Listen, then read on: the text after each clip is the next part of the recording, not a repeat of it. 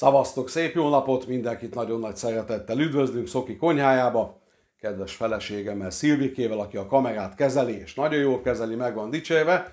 Sok szeretettel megmutatunk nektek egy leves, csontleves, ki ne ismerné, de tudjátok, ahány háztartás, mindegy kicsi flaxnival máshogy készül, más az eljárás, de akár mondhatnám csontleves, erőleves, húsleves, akár össze is lehetne gyúrni ezt a háromféle ételt, én megmutatom nektek a csontlevesre kitérve, hogy készítem el picivel több húsos csont, kevesebb zöldség. Mondom nektek, ami éppen most nem jön bele, ami a húslevesnél bele szokott mondjuk kerülni, amikor főzök húsleves, nagyon sok esetben egy nagyon pici kelkáposzta, gomba, fehérrépa, azaz gyökér, egy kis paprika, paradicsom is beleugrik, ebbe az esetben nem, ami mindenféleképpen belemegy a csontlevesben állam, zeller, kis kötegelt zellerzöld, petrezselyem, zöld arany, vörös hagyma, fokhagyma, és természetesen a sárgarépa. Nagyon nagy szükségünk van rá, mert hogy ennek a nagyon finom csontlevesnek szint is kell adnunk, és mindenféle mesterséges dolog nélkül, tudjátok, ebbe közreműködik a sárgarépa, közreműködik a vörös hagyma olyan szinten, nem fogom megpucolni, egyszerűen jó alaposan át fogom sikálni, így kerül a levesbe, meglátjátok, csodálatos színek jönnek ki. Fekete bor, só, és itt a másik kis színező anyagunk, sáfrányos szeklice, ismerhetitek, aki nem az ismerje meg, ajánlom, lehet kapni mindenhol, pici kis zacskóval vesztek, és nem kell sok bele, tehát érdemes beletenni úgy a színeket, mint az ízeket. Nagyon-nagyon meg fogja dobni. Mutatom a mennyiséget, tényleg nem egy észveszejtően nagy húsos csont, jelen esetben sertéscsont, egy jó két kilót fogok felhasználni, Természetesen, aki úgy gondolja, akár vegyesen, marhacsonttal, vagy éppen aki úgy gondolja, lehet csak csirkecsonttal, én jobban szeretem a sertés és a marhát, vagy keverve, vagy önállóan így, amit éppen látok, jó két kilós mennyiség, erős, tartalmas, húsos részekkel, nem én pucoltam, most nem én csontoztam, nem én bontottam, ezt így vettem, tökéletes, és sajnos olyan vagyok, amikor én csinálom, több hús leszedek róla, hogy darált húsnak ebbe abba el tudjam használni. Itt most ezt nem tettem meg, tehát tényleg egy erős tartalom. Nem utolsó sorban, amit még elmondok, őszi, tavaszi, téli időszak, tudjátok, amikor így összeesik az ember, nem kell, hogy betegnek legyen. Egy kicsit össze van omolva, nincs jó kedve, fáradékonyság, meg kell főzni egy ilyen levest, és higgyétek el, hopp, a ridikül, kiegyenesedik tőle az ember, jobban érzi magát, nálunk két hetente biztos, hogy ott van az asztalon. Elkezdjük főzni a levest, leges-legelső mozzanat, jéghideg vízbe fölteszem, mutatok nektek mindent.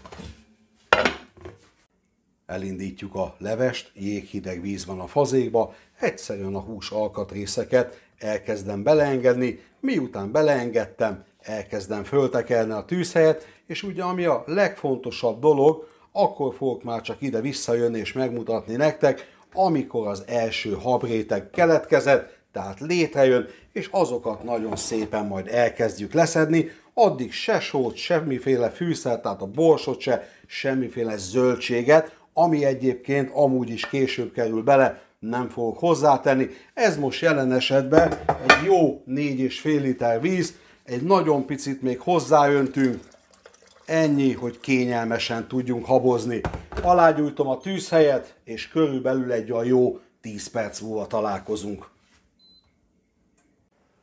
Eltelt az a 10-12 perc, és látjátok, megjött az első habréteg, és nem véletlenül mondom, hogy első habréteg, mert nagyon sok esetben van akár két-három habréteg is, és majd mutatok egy praktikát, vagy mondok egy praktikát, látjátok, idehoztam egy pici kis szűrőt, vagy éppen idehoztam egy kis máltásos kanalat, teljesen mindegy merőkanat, kinek mi a szimpatikus, egyszer megfogjátok, és gyönyörű szépen itt le lehet halászni a habot a tetejéről, tehát mindegyik megoldás tökéletes, ami nektek szimpatikus, le lehet szedni a habot. Na ezt most nem is csinálom meg végig a videóba, pontosabban ennyit megtettem.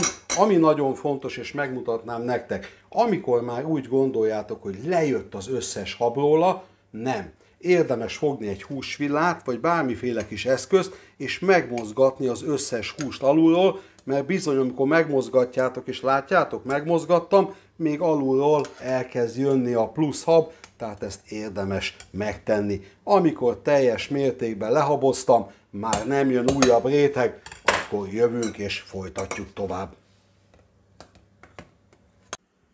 Meg vagyunk teljes mértékben a habozással. Na most ebben az esetben is, ha azt mondanám húslevest főznék, jöhetnek a zöldségek, hagy szóljon, minden mehet bele. De viszont csontlevest főzök, így hát most ebbe a stádiumba, úgyhogy csak sót és fekete egészborsot teszek hozzá, körülbelül másfél-két óráig itt fogom, és szó szerint, ahogy mondom nektek, zümmögtetni a levest. Tehát nem fog rotyogni, nem fog forni, és tudjátok, azért is nagyon fontos, hiszen ezt a levest majd, ha megmutatom a legvégén, gyönyörű szép áttetszőnek szeretném látni, úgy is fogom látni, amikor mondjuk beforraljátok akár véletlenül is a levest, összetörik a leves, úgy hívjuk, összetörik, egy zavaros katyfasz lesz belőle, nem szép, lehet, hogy ízre jó, higgyétek el, de erre oda kell figyelni. Jöhet a só, itt ugye szoktam volt mondani, mindenki határozza meg, hát én egy három teás kanállal indítok, és majd természetesen meg lehet kóstolni, nem meg lehet, meg kell kóstolni az ételt menet közben,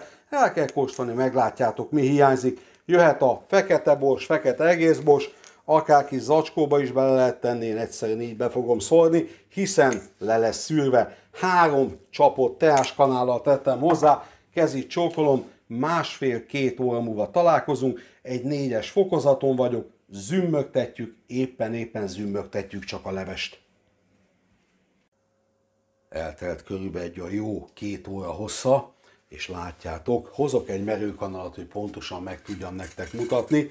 Éppen züm-züm, zümmög a leves, gyöngyözik a leves, néha egy-két buborék feljön, mutatom nektek a színt, gyönyörű szép, úgy, hogy még nem tettünk bele semmit, csak a hús van benne, nézzétek meg, 8 karátos arany, jó? Tehát jellemezzük így, majd utána haladunk, tovább lesz a 14 és a 18, a legvégén a 24 karátos, viccet félretéve mutatom nektek, egyszerűen összekötöttem a petruskát a zellerrel, saját anyagával, egy szép zeller szárral, ennyi, belehelyezem, jöhet egy pici fej foghagyma, higgyétek el, nem lesz foghagyma ízű a leves, kettő darab vörös hagyma alaposan megsikálva, és jöhetnek a jóságos kis sárgarépák, szándékosan ilyen esetben jó vastagot választok, ne főjön szét, tökéletes, jöhet a kettő zellerművek, és ebbe a helyzetbe egy nagyon pici vizet hozzá fogok még tenni, eddig ezt nem tettem meg, és így főzzük tovább. Körülbelül innentől számot, számítva még két óra hossza,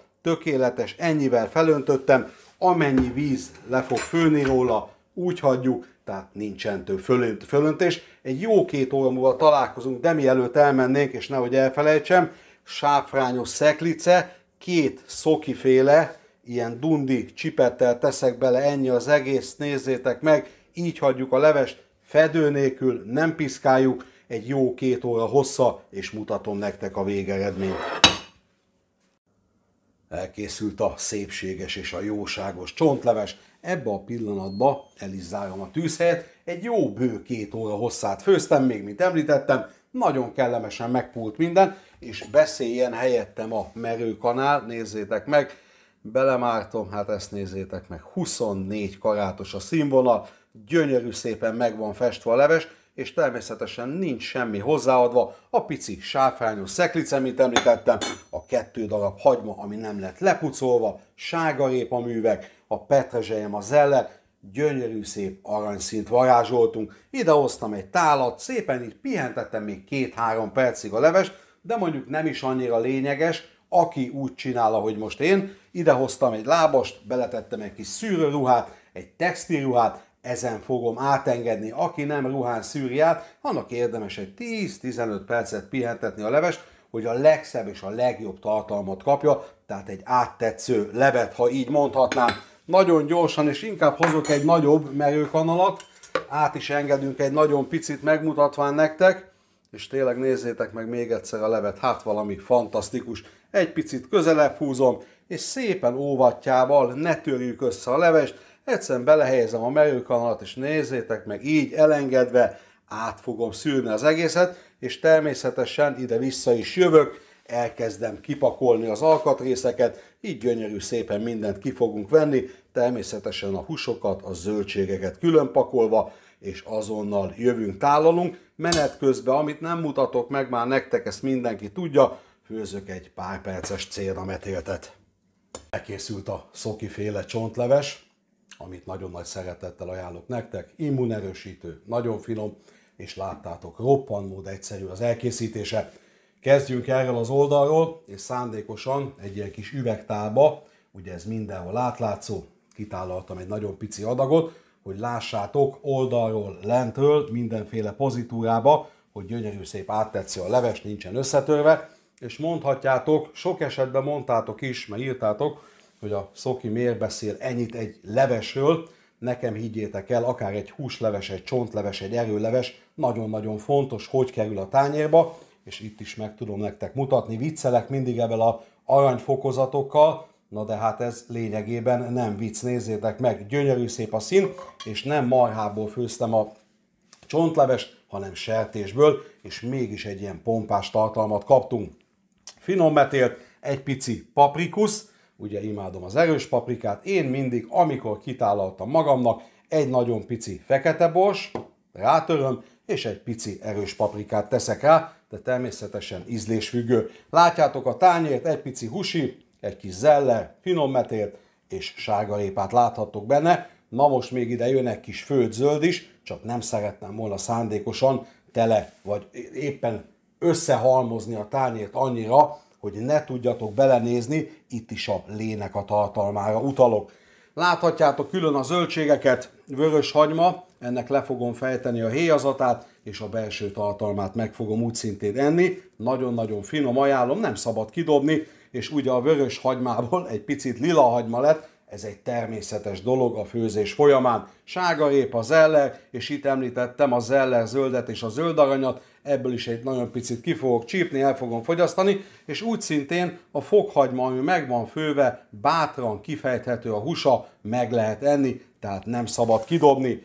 Húsra, a főt húsra kitérve, nagyon sok olyan alkalom van, tudjátok, úgy kell összeterelni a családot, és ebben nem mondok újat, valaki a kocsi alatt fekszik, valaki éppen a kiságyat javítja, és sorolhatnám. Na most ebbe az esetben, ugye hát épp amikor kitálaltatok, szárad a hús, elkezd megfakulni, szürkülni, a levegő kiszívja, addig érdemes, és mutatom nektek, egyszerűen egy frissen tartó fóliával letakarni, egy picit vissza fog gőzölődni, nézzétek meg, na de, amit láttok, abszolút de friss a tartalom, tehát én legalábbis így szoktam készíteni.